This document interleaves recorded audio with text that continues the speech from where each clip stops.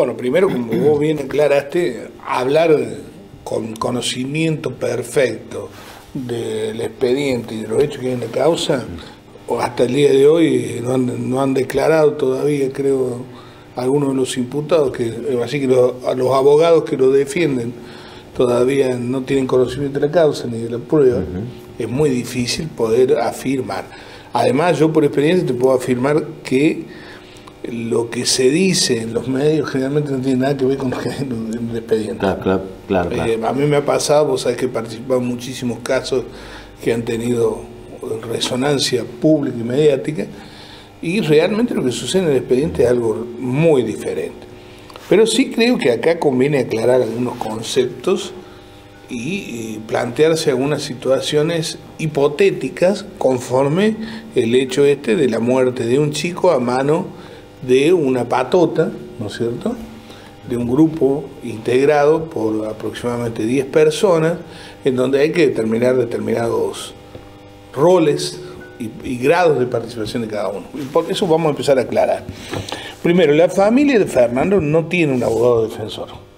Claro, sí, sí. sí. Él, eh, quien nos representa es un querellante particular que coadyuva a la labor fiscal en la tarea de acusación ese representante de los deudos de Fernando, de la víctima del delito directa, también puede constituirse en actor civil en el proceso penal para reclamar la reparación económica del daño sufrido. Una de las figuras. La segunda figura que actúa aquí es el fiscal, que es el encargado de eh, probar la materialidad del hecho, tanto en sus aspectos objetivos como subjetivos, esto es muy importante y eh, probar la participación el grado de participación que le cabe a cada uno de los supuestos integrantes del grupo criminoso. Después está el abogado, los, él o los abogados defensores, porque tengo entendido que hoy que las defensas que estén ejercidas por un solo profesional se iban a dividir, que eh, defienden los intereses de cada uno de los imputados. Y el juez de control y garantía, que es el que atiende las críticas que se le formula eh, la defensa ante alguna actuación irregular que se pudiera producir por parte del eh, Ministerio Público, es decir, del órgano fiscal. Esos son los cuatro sujetos del proceso. Que actúan en este momento. En este, momento. Acá todavía, recordemos que estamos en una etapa de investigación penal preparatoria, investigación fiscal preparatoria, porque la investigación está a cargo del fiscal y eh, no estamos hablando de lo que es la etapa del juicio. El juicio es otra etapa, es realmente lo único que importa a la hora de la verdad, porque los testimonios que se recolecten ahora, si no guardan concordancia con lo que se recolectan en el, en el juicio, eh, eh, no valen. no, si no son ratificados tampoco vale. Claro, tiene que tener la prueba suficiente. Directa, directa e inmediata en el momento del juicio. Todo esto es una preparación la investigación fiscal preparatoria, en definitiva, es una, es una investigación, una preparación, una etapa instructoria para lo que va a ser el juicio. ¿Te das cuenta de cómo tener los ingredientes? Pero el preparado y el resultado final Es, en otra oportunidad. Y acá, eh, como te decía, la tarea del fiscal eh, va a consistir en probar la existencia material del hecho, es decir, que acá hay un homicidio, que ese homicidio es calificado eh, los homicidios son, el artículo 79 arranca con el homicidio eh, simple. Y después empiezan, a partir del artículo 80, distintos tipos de homicidio. El homicidio calificado, ¿no es cierto?, que te, plantea distintas hipótesis en 12 incisos. Eh, después tenés el artículo 81, que habla de un homicidio atenuado, por ejemplo, el homicidio en estado de emoción eh, violenta, que torna excusable las situaciones, y el homicidio preterintencional, que esta, atención en esto, no nadie lo ha mencionado, pero yo si fuera defensor de los imputados, empezaría a hablar en algunos casos del homicidio preterintencional. ¿Qué es el homicidio preterintencional? Es aquel que, queriendo causar un daño en la salud de otro, se obtiene un resultado mortal cuando el medio utilizado no resulta normalmente idóneo para eso. Es decir, si yo te pego una trompada, pretendo lesionarte, pero no causarte una muerte. Si con eso te causa la muerte, la pena es sumamente atenuada porque eh, se reduce en este caso eh, a una reclusión de 3 a 6 años o a una prisión de 1 a 3 años. Una cuestión para tener en cuenta. Después, eh, hay una combinación en el artículo 82 de lo que son los homicidios agravados del inciso primero, es decir, por el vínculo con el estado de emoción violencia del segundo, que también reduce las penas, eh, la instigación al suicidio y el artículo 84, donde eh, estamos hablando del homicidio culposo, el 84 b el, el homicidio culposo con el uso de automóvil. Esas son las distintas clases de homicidio que prevé, que prevé el Código Penal. Eh, pero hay un, esencialmente dos tipos de homicidio. El homicidio doloso, donde uno tiene que probar, el fiscal tiene que probar y se tiene que demostrar, en esto de una discusión, yo leí un artículo que eh, publicó Infobay hace cuatro o cinco días y lo repartí entre varios fiscales, jueces, abogados defensores, abogados penalistas, para que intercambiáramos una opinión, porque lo escribieron dos doctores de derecho, uno un juez de control y garantía y otro un integrante de una cámara de acusación. Es malo, hablé con unos amigos míos, eh, integrantes del Poder Judicial de Catamarca, eh, estuvieron recientemente acá en la localidad, y se los aproveché, se los mandé, lo hablé con un fiscal de Cámara de Río Cuarto, eh, todo desde el punto de vista teórico, para comprender mejor la cuestión, porque hay gente que sostiene en una escuela finalista, como es la escuela que rige los destinos jurídicos y jurisprudenciales del poder del poder del poder eh, judicial nacional en materia penal y el poder judicial de la provincia de Buenos Aires distinto al nuestro que es causalista en, Córdoba ellos entienden que el dolo no necesita probarse. ¿qué es lo que es el dolo para que la gente entienda? el dolo es la intención. Yo quiero hacer tal cosa. Allá que hoy eh, recientemente estoy leyendo el libro de una investigadora sueca sobre la intención que está presente aún en, todos los casos, lo han demostrado los últimos estudios que se han realizado. Porque pues, si vos no actúas con intención, actúas con culpa. por ejemplo, yo tomo una, me tomo unos tragos, salgo a andar con el auto y me duermo y atropello a una persona y la mato, es un homicidio, pero culposo. ¿Mm? No, no doloso. En este caso, la labor del Ministerio Público va a estar en tratar de probar que hubo intención de matar. Claro, porque encima han 10 personas, supuestamente. Una de las agravantes del artículo 81 es que se realizara con el concurso eh, de, tres o más personas, ¿no es cierto? El, artículo 81, te digo el inciso, para que vos lo tengas presente, eh, eh, con el concurso de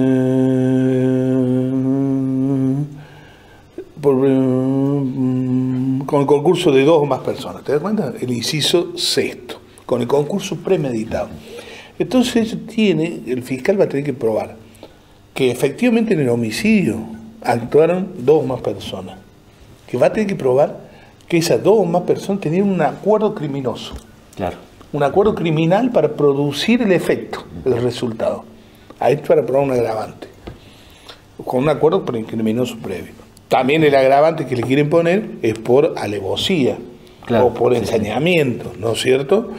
O por placer, que es lo que hoy se está discutiendo, que eso tendría que ser más objeto de una pericia psiquiátrica y psicológica, en donde se demuestre que estamos ante un grupo de personas que por placer se dedica a matar a otros.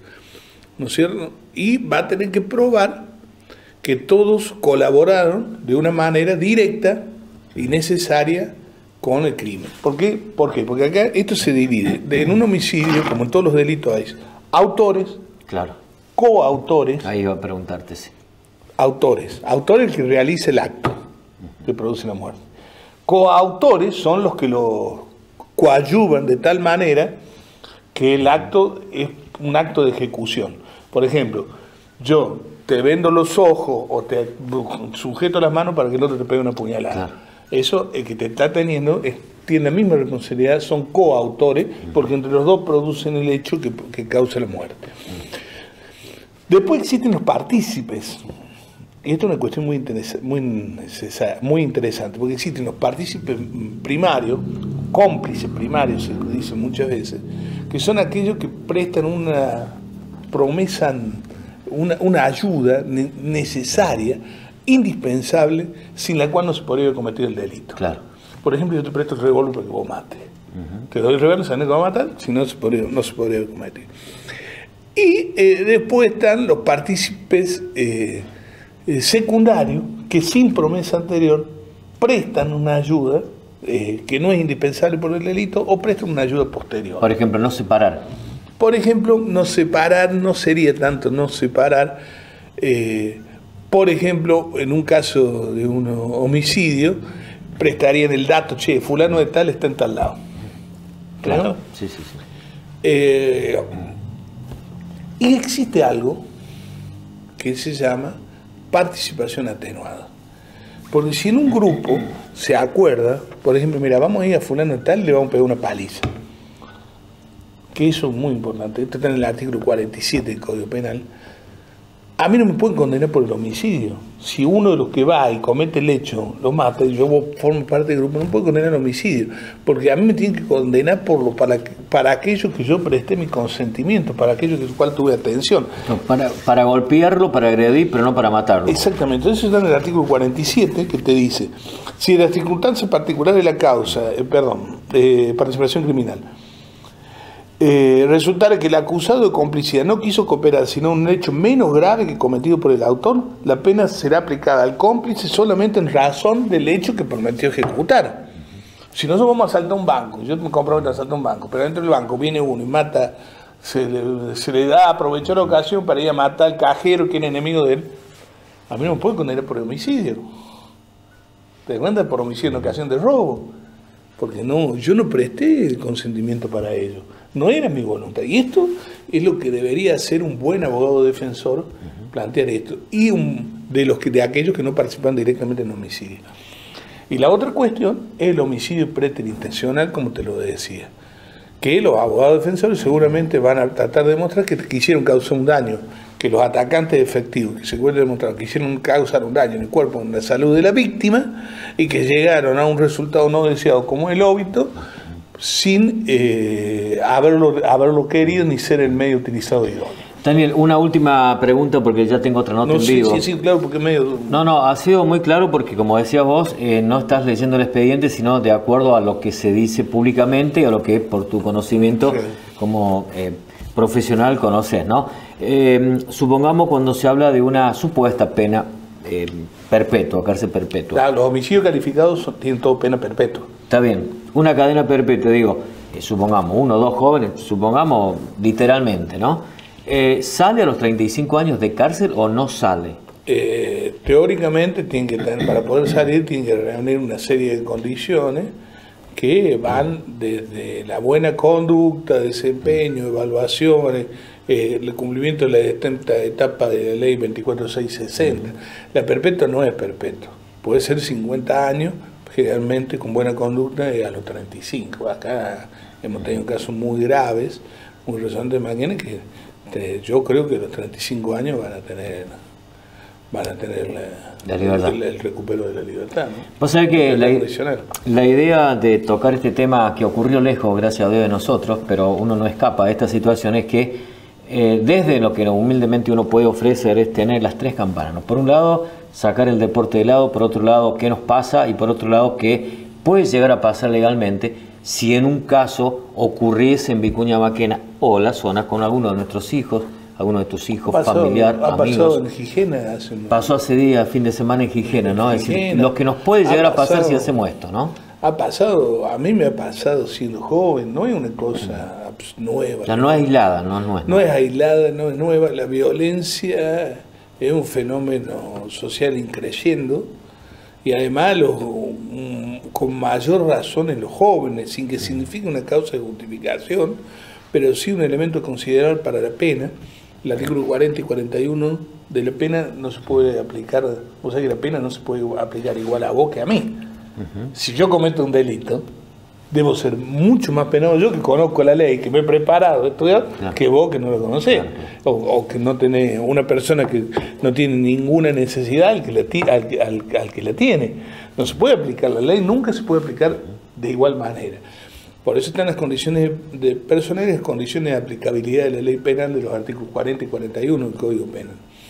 Ser joven es una cuestión atenuante de la pena. Ah, también ser joven, porque uno tiene un desarrollo hormonal, una irresponsabilidad, una fuerza de, de, la propia naturaleza de la juventud que te torna muchas veces más irreflexivo y más irresponsable.